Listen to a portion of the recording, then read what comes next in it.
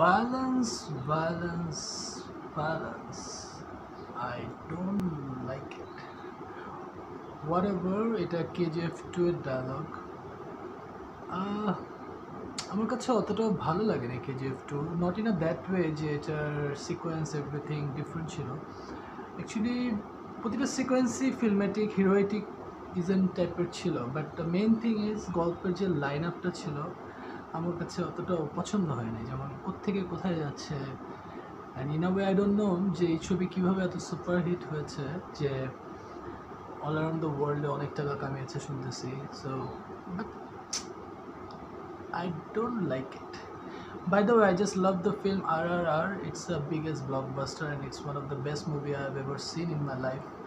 And uh, it's really awesome the way the link up of the story, the way uh, fight sequence sequence been established. যেমন কেজিএফ একটা ব্যাপারে খালি ফাইটই হচ্ছে কিন্তু no logic একটু বেশি লাইক কি বলে যে কাহিনী যে বলতে থাকে যারা ওইটার এটা একটু বেশি লেন্দি কেমন জানি করে ফেলছে বাট হ্যাঁ in a way not bad it's good but not all that good like RRR and this and that so ফিল্মের রিভিউতে অনেকে অনেক রকম দেখা গিয়েছে যে মিথ্যাও বলে যে এত সেল হয়েছে এত হয়েছে না হয়েছে। So I don't think so এটা হয়তো দর্শক অ্যাট্রাক্ট করেছে but not that much it should not be that much like Pushpa হচ্ছে অনেক ভালো লেগেছে আমার। পুষ্পা মুভি আমি দেখেছি ইটস রিয়েলি সো গুড ইয়ার এভরিথিং বাট কেজিএফ হ্যাঁ প্রতিটা সিকোয়েন্স একটা হিরোয়েটিক জিনিস ছিল, যে স্পেশালি কালারটা ভালো লেগেছে আমার।